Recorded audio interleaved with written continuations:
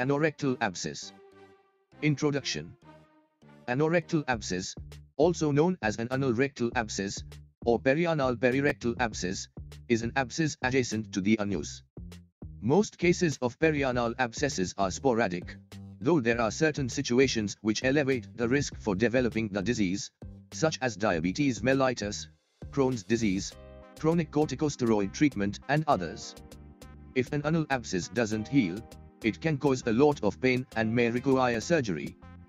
Definition An anorectal abscess refers to a collection of pus in the anal or rectal region.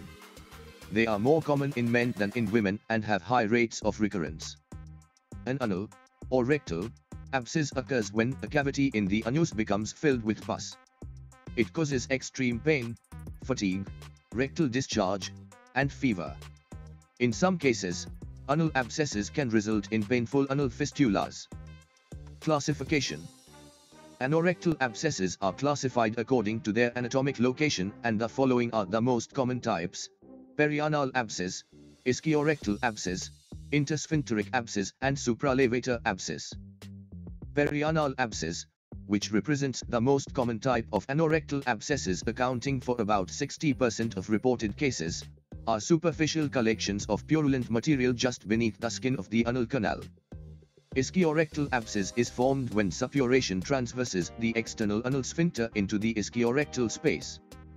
Intersphincteric abscess results from suppuration contained between the internal and external anal sphincters.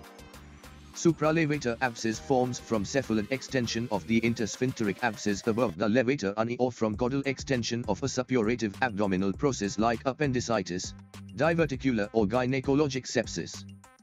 Causes An anal abscess can have many different causes. These include an anal fissure, a tear in the anal canal, that becomes infected. Sexually transmitted infections. Blocked anal glands. Risk factors. Risk factors for anal abscesses include colitis, inflammatory bowel disease such as Crohn's disease or ulcerative colitis, diabetes, diverticulitis, pelvic inflammatory disease, being the receptive partner in anal sex, use of medications such as prednisone, pathophysiology, clinical manifestations. Superficial anal abscesses are often associated with pain, which is usually constant, throbbing, and worse when sitting down. Skin irritation around the anus, including swelling, redness, and tenderness. Discharge of pus. Constipation or pain associated with bowel movements. Deeper anal abscesses may also be associated with fever, chills, malaise. Sometimes, fever is the only symptom of deep anal abscesses. Diagnosis Usually, a clinical evaluation including a digital rectal exam is sufficient to diagnose an anal abscess. But some patients may require additional tests to screen for sexually transmitted infections, inflammatory bowel disease, diverticular disease, rectal cancer. In rare cases, an examination may be done under anesthesia. The doctor may also ask for proctoscopy, colonoscopy, sigmoidoscopy, barium enema, an ultrasound, a CT scan, or an MRI.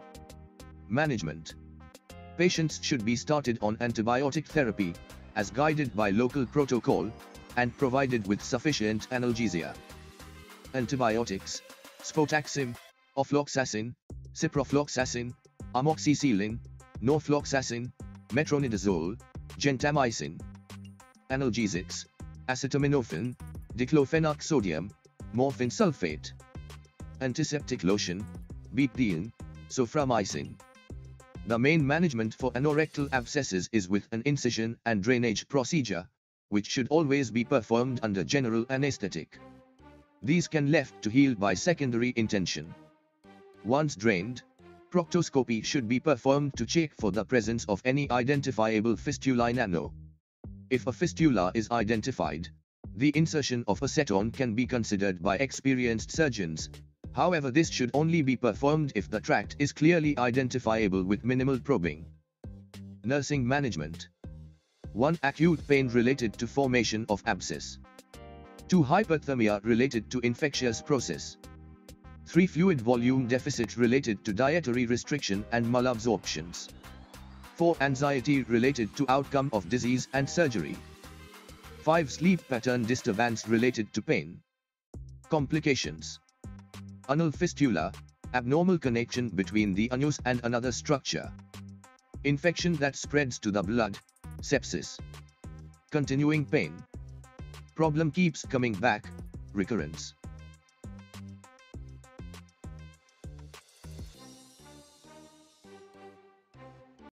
So guys, thanks for watching my video. You can like and comment on my video but don't forget to subscribe my YouTube channel to watch quality content like this. Thank you guys.